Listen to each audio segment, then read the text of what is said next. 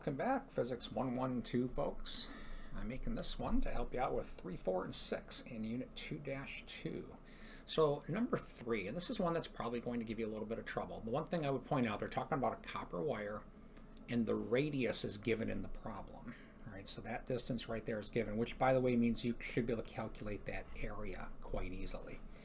So I, I, drew kind of a picture of the wire here. And first of all, let me talk about what they're asking for when they talk about drift velocity. So if we think of a charge carrier here, and I'm going to think about a plus, even though they're actually electrons, but we always talk about, with the electrical current, we always uh, do that assuming positive charge carriers. The motion of the thing's highly chaotic. Right, so these things are bouncing around and just kind of moving all over the place, you know. But overall, if there's a potential, it, even though the motion's highly chaotic, there would be this overall movement to the right. And the rate at which the electrons are moving, that's called your drift velocity.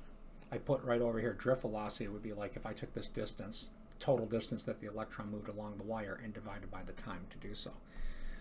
Now, electrons in atoms, by the way, you know, when they're attached, when they're in their nucleus, or I'm sorry, in their orbits going round and round and round, it's not uncommon to see like 10 to the 6 meter per second. However, drift velocities, these are going to be much, much, much, much smaller. These will probably be something like centimeter per minute or maybe even centimeter per hour.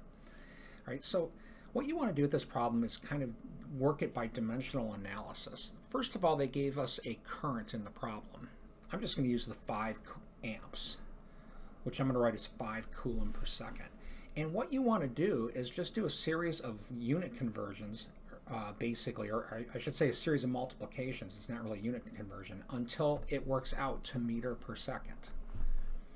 All right, so I kind of got started here. If we multiply by in one electron, there's 1.6 times 10 to the minus 19th coulombs.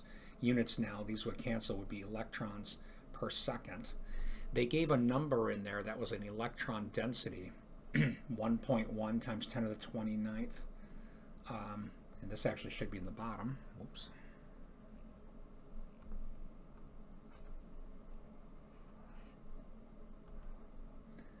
Um, electrons in one cubic meter. I'm sorry about my crummy writing.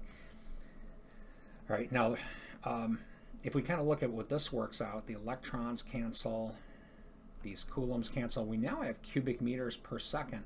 There's just like one more multiplication, and I don't want to give it away. Um, of, oh, of how to get to this, but you know, remember you got this area here and you want this quantity to work out to meter over seconds and then you'll have the drift velocity. Okay, so short answer is do this by dimensional analysis. All right, number four.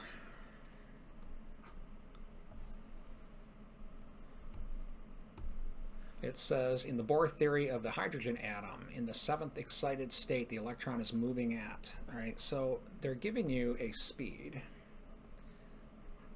seventh state. This is in red, so you might have third, fourth, or fifth state, but you have a state and a speed, 4.47 times 10 to the fourth meter per second, moving in a circular path. So just, you know, model this like so, something moving in a circle. The speed you're given is equal to distance over time. The distance is one circumference. The radius is given in the problem, so you should be able to calculate that. So you should be able to calculate the time. Now, once you have the time, and it's going to be really, really small, calculate the number of times that this thing goes around in one second. And then you can actually calculate a current for that because remember, current's delta Q over delta T.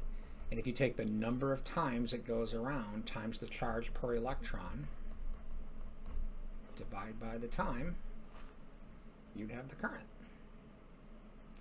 Um, I suppose you actually also, once you have the time, I suppose you could just take this charge and divide by the delta t, and that would work out the delta t like um, originally from here, and that should work out just fine too. You're going to get a pretty massive current. I think you'll be surprised. Uh, keep in mind when you try to put the answer in, it says in milliamp. So make sure you convert to milliamp. Milli means 10 to the minus third. Otherwise, it won't take your answer. All right, let's take a look at number six. All right, so six is one of these resistance questions.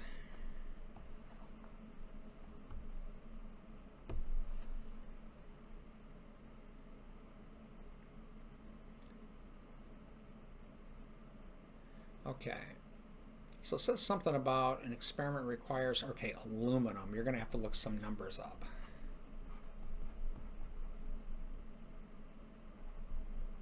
It's going to have a resistivity, and it's going to have a, oh, I wish I had my book here, but it's going to have some sort of coefficient that's temperature related. I'll just say that. Some sort of temperature related coefficient. Okay, you're going to have to look those uh, both up. This one is linked to the geometry. So resistance is directly proportional to the length falls off with area. I'm sure that's going to come up in this problem. This one is related related to temperature changes, and they change linearly. Oh, and I think I forgot. Let's see. This looks something like uh,